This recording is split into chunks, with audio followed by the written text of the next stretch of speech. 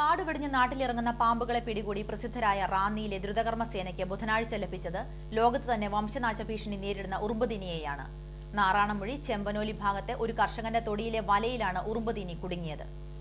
ലോകത്തെ എല്ലാ രാജ്യങ്ങളിലും നാശത്തിന്റെ വക്കിലെത്തിയ ജീവിയാണ് ഈനാം ബേച്ചി. ശരീരം മുഴുവൻ കട്ടികൂടിയ ശൽക്കങ്ങളാണ് ഇതിന്റെ സവിശേഷത. നാറാണമ്മൂഴി ചെമ്പനോലി കുളത്തുങ്കൽ ബെന്നിയുടെ തൊടിയിൽ കൃഷിയിടത്തിന് സംരക്ഷണത്തിനായി സ്ഥാപിച്ച വലയിലാണ് ഇവൻ കുടുങ്ങിയത്. ആർദ്ര ഇലപൊഴിയും കാടുകളിലും പാറക്കൂട്ടങ്ങളിലും കാണപ്പെടുന്ന ഇവയുടെ പ്രധാന ആഹാരം ഉറുമ്പും ചിതലുമാണ്. നീളമേറിയ നാവ് ഉറുമ്പിൻകൂട്ടിലേക്ക് നീട്ടിയിട്ട് നാക്കിൽ കയറുന്ന ഉറുമ്പുകളെ അകത്താക്കിയാണ് ഇവ ചെയ്യുന്നത്. മുൻകാലികളിലെ നീണ്ട ശക്തിയേറിയ നഖങ്ങൾ മണ്ണ് തുരന്ന് ഉറുമ്പുകളിലെയും ചിതലുകളെയും പിടിക്കാനും ഇവയെ സഹായിക്കുന്നു.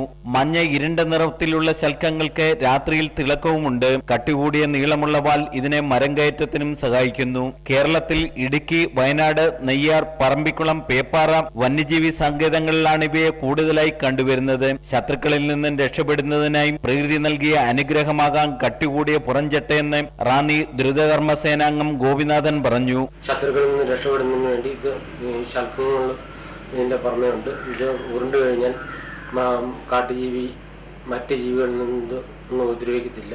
ദ്രുതകർമ്മ സേനാംഗങ്ങളായ ഉണ്ണികൃഷ്ണൻ സനൽകുമാർ അശോകൻ എന്നിവർ ചേർന്നാണ് നാറാണമ്മൂഴിയിൽ നിന്നും ഇതിനെ റാന്നിയിൽ എത്തിച്ചത്. അടുത്ത ദിവസം ചിതലുപുറമ്പും കൂടുതലുള്ള വനമേഖല കണ്ടെത്തി അവിടെ എത്തിച്ച് ഇതിനെ വിടാനാണ് തീരുമാനം. News bureau Pathanamthitta.